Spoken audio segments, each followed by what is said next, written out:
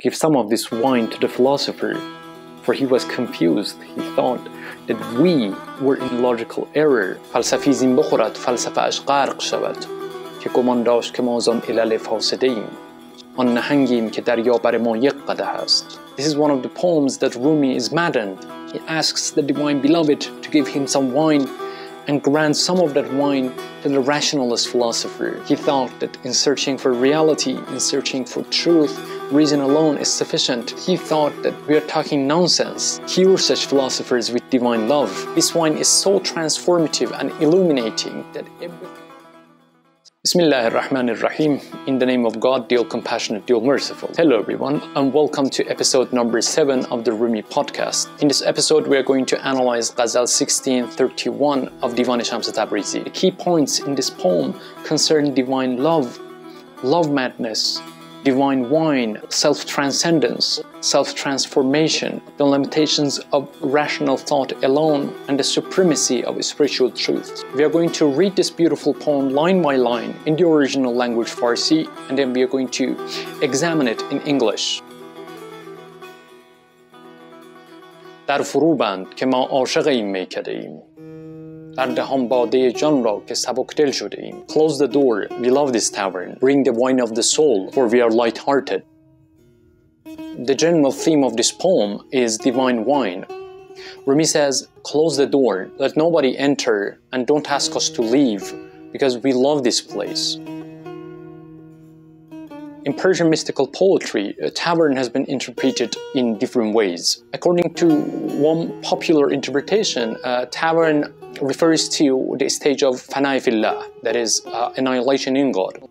But annihilation could be misleading here. Here, annihilation in God or fana'ifillah basically means self-transcendence, a theme so common to Rumi's poems that we have been discussing this in every episode. The mystic delves so much into divine love that they become unaware of their individual self. They're epistemically unaware of their individual self. Again, there is a misunderstanding here among some Sufi readers who think that fana'ifillah means ontological extinction, ontological destruction of the human being. There is no such thing. In the fana'ifillah, the human being, the mystic, becomes epistemically unaware of, their, of themselves. They are so absorbed into the divine, so absorbed into the divine love. It's as if they are drunken. That's why Rumi refers to this whole state as drunkenness. And in Persian mystical poetry, uh, this stage is called tavern. برجه ساقی چالاک میان را بربند به خدا که از سفر دور و دراز آمده ایم برگشا مشک طرب را که زرشک کف تو از کف زهره به صد لاب قده نستده ایم Rumi tells the cupbearer, We have come a long, long way. We are tired, we are thirsty, we are thirsty for the divine love. Let the divine love flow through us. In Persian mystical poetry, wine refers to divine love, divine knowledge, and cupbearer refers to God. Sometimes cupbearer also refers to uh, the sheikh, the, uh, the leader in the spiritual journey. I was waiting for your wine desperately so much so that Venus came in offering me its own wine, offering me its own love. But I was so obsessed with your wine that I rejected every single time out of the hundreds of times Venus tried to quench my thirst. در فرو بند رحمت در دیگر بگشای چاره رتل گران کن که همه میزده ایم Close this door and open the door of your grace. Let the wine flow through it. Divine love is not something that the mystic gets to gain whenever he or she wishes. It's not that you start today and tomorrow you're going to experience that. Divine knowledge or divine wine are granted to you as divine grace. As Ibn Arabi uh, mentions it in, uh, in Futuhat al-Makkiyah, you keep knocking that door, but it's not you who decides when that door opens. It is the divine beloved. This is why even when Rumi is intoxicated, even when he is selfless, he's still asking for divine grace. It's you who should be opening the gates of your grace and your mercy and let that wine, let that love flow through me. زان سبو غسل قیامت بده از وسوسم به حق آنکه ز آغاز حریفان بوده ایم Give me an ablution of resurrection with that wine. Let the uncertainties and all the temptations go away from me. What I have achieved through partial reason does not grant me full certainty. I don't understand the truth fully through reason. It is only that intoxication, only that selflessness, only that divine union that shows me the truth in a pure way. It is your love that grants pure knowledge. I'm begging you, please give us that wine. We have been the companions on this path from the beginning. We have dedicated ourselves to this journey, to the spiritual journey's arduous stages, not occupying ourselves with worldly matters, not occupying ourselves with the trivialities. We have been steadfast and we have worked hard on this path. Show us your mercy and please grant us that wine.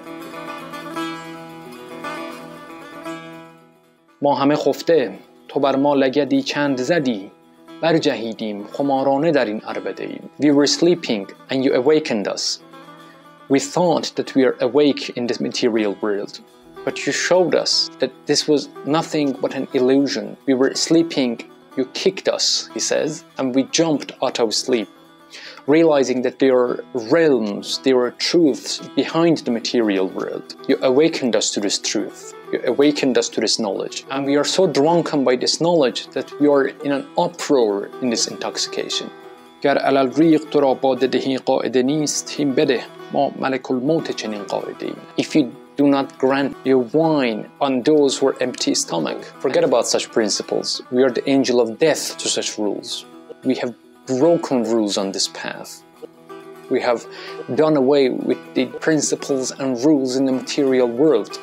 Please do not hold us to such disciplines. فلسفی زین بخورد فلسفه اش غرق شود که گمان داشت که ما زان علل فاسده ایم آن نهنگیم که دریا بر ما یک قده است ما نه مردان سعید و عدس و ماعده ایم Give some of this wine to the philosopher for he was confused. He thought that we, as mystics, as Sufis, were in logical error. The purely rational philosopher, the materialist philosopher, looks at reality through the lens of reason alone. Give some of this wine to him. He thought that in searching for reality, in searching for truth, reason alone is sufficient. That is the only standard. He thought that we are talking nonsense. Our perceptions, our discussions are meaningless they are contrary to the logical rules. So what we are saying is nothing but logical inconsistency. Here were such philosophers with divine love. He thought that we are in error. We are those whales that swim in the ocean of divine wine, in the ocean of divine love, searching for truth, searching for divine treasures.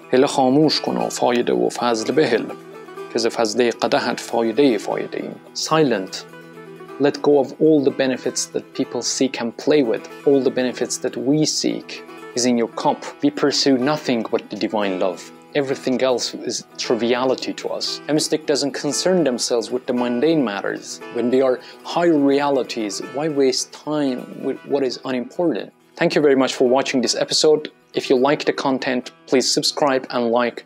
It goes a long way. And see you soon in the next episode.